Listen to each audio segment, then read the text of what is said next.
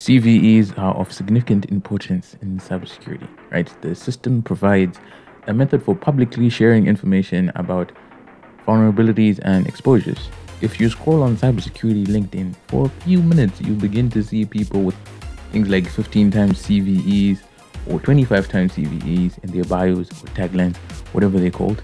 These people wear these CVEs as badges of honor, and rightfully so. They found a vulnerability somewhere and they disclosed it, and it was published as a CVE. As someone who's been going through the OSWE, I've gotten a certain perspective on white box penetration testing, and so we are going to start doing some CVE hunting ourselves. But first, we need to learn how to.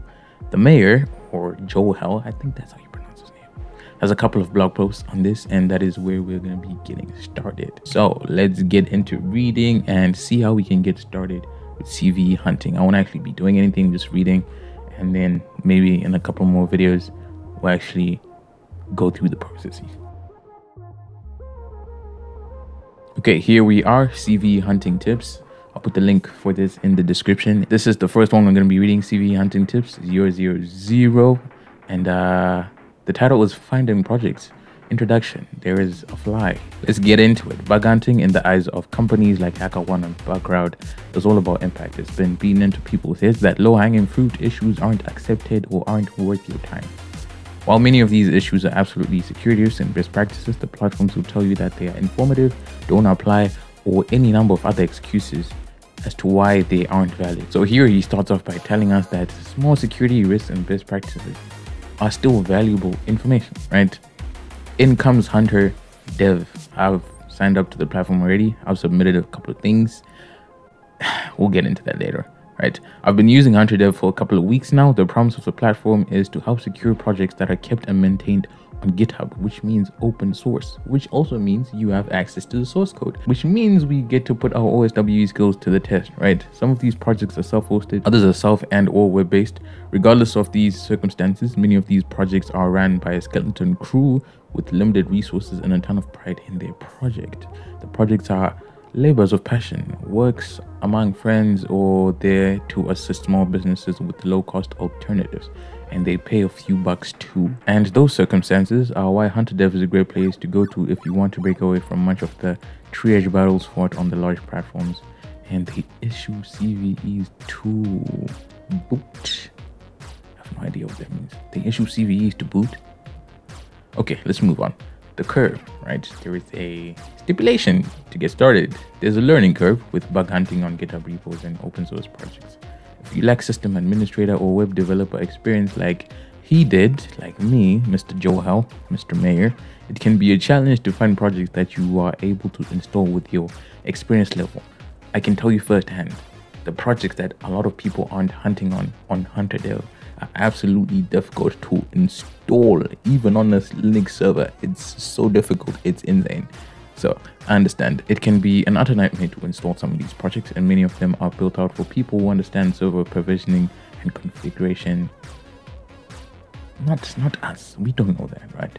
But alas, a solution with the curve out of the way, let's consider a plan moving forward. huntr.dev has a ton of listed projects on the site that can be tested against. Some of them are turnkey and others are the pain in the neck talked about above.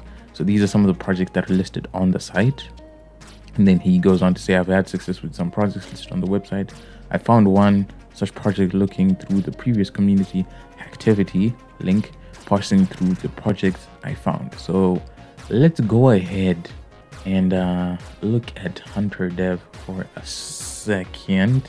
Okay, so this is huntr.dev. There is a bounties, which is the project calculator. If you put a project, it shows you how much is eligible for payout when you find when you find a vulnerability. Some of these projects, two thousand bucks upwards. I mean, two thousand up to two thousand bucks. What am I saying? Up to two thousand bucks. WooCommerce seventy five bucks and different languages, different compilations, and whatever server side frameworks, Apache, Go, PHP, JavaScript, all that fun stuff. So you have a large variety to choose from. And then if you go to the leaderboard here, you just see 30 days, 90 days, all time. I don't know why it's not loading. But yeah, these are the leaders. This is the leaderboard. It shows you accuracy XP all time 30 days is for the past 30 days. But if you go to activity, like he said, Mr. Johel, you get to see some of the reports that have been submitted for different projects. And the best thing about this platform is the fact that you can read these reports. You can read how someone did it and maybe try replicate it in a different project, right? Everything is there for you to see. So there aren't any excuses. You can filter by language, filter by substring. You can search for repos that actually aren't listed on the website, right? But be careful with that because some people don't want their stuff tested. But considering it's hosted on GitHub, I think huntr.dev has a way to get around that. I think we can go to like the FAQ or something and see. Um, we can I report privacy policy. No, let's. The best way to contact a maintainer. Use our advisory chat feature. Once a maintainer has been signed up to the platform, they will be notified of a new chat. Okay, I'll put it somewhere on the screen if I find it afterwards. But yeah, you can go ahead and GitHub, search for something you might want to hunt for, hunt on, and then search for the repo, see if there's anyone else that has hunted for that stuff, and you'll find it. There are a ton of things being reported, a lot of CVEs being granted. Sometimes you have to ask um, the project if they want to give you a CVE or not, because even if you find something critical, they might not automatically give you a CVE. I've seen some of Mr. Johel's reports and um, stuff like that not being given CVEs until he asks for a CVE. But that is the first article we're going to be looking into. Let's get into the second one, which is Hunting Tips 001. And uh, we shall end there. This is unverified password change. This would be a small or P4 if you go on a HackerOne Bugcrowd and whatever but uh, he got a cve for this one right in today's article we're going to be talking about a super easy to find vulnerability covered under cwe 620 if you don't know what cwe means look it up basic stuff right unverified password change at the end of the article we'll go through the huntr.dev submission process and what to expect from the submission to validation and beyond using one of my previously reported fi- findings Users authenticate to applications multiple times a day. Oftentimes, users will use a password that is meaning to them, such as a boyfriend or girlfriend, a pet, or something else. Some applications, sometimes applications require a password to be changed on a rotational basis, and users will be moving from spring 2022 exclamation mark to summer 2022 exclamation mark to fall 2022 exclamation mark and beyond. Other times, the password could be completely irrelevant to them, and they are simply using a strong password password changes. No matter the purpose of the password change, it's incredible. No matter the purpose of the password change, it's incredibly common to need to do so.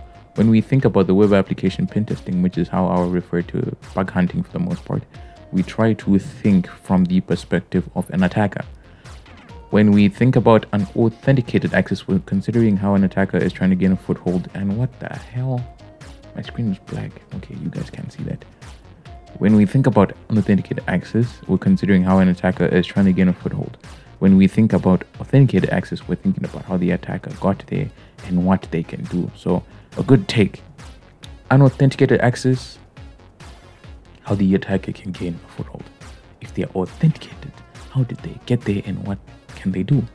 So, what does an unverified password change look like? Here we have a password reset form, set password, enter password, confirm password right? Can you spot the issue here? As we think about this is supposed to be a password change, right? So you're in the application, you're in the application and you want to change your password. Usually applications would ask you to put your previous password first, but as you can see here, this one is not asking for that. This one this one is it's an issue some people would skip. And uh, depending on where you report this bug you might get p4 you might get informative you might get uh, nothing. They don't really care about it. But i'm pretty sure people care about this right? And so if you report this on Bugcrowd HackerOne whatever you might get something but it's very little so you might as well report this on uh, huntr.dev and get a CVE, right? Can you spot the issue? As we think about the web application security and the, and the perspective of an attacker, we can clearly see the problem in this instance. Let's theorize for a moment. Jaina stood up from their workstation in an office without logging out, and Bill, bad guy, in the next cubicle sees it. Bill jumps onto Jane's computer, clicks the change password button, and changes the password without knowing Fred's current one. Ah, we went from Jane to Fred. I think he got the names mixed up, yeah. Jane, Fred. Where did Fred come from, bruv? Anyways, in this case, Bill Bad Guy was unchecked in changing the password because there is no second method of authenticating the person actually changing it. When Jane comes back, they can no longer access the web application and Jane is unable to do their job duties. Okay, Jane is back, not Fred anymore. What should we do? As a developer, it's vitally important to consider every action in an application not only from the user perspective.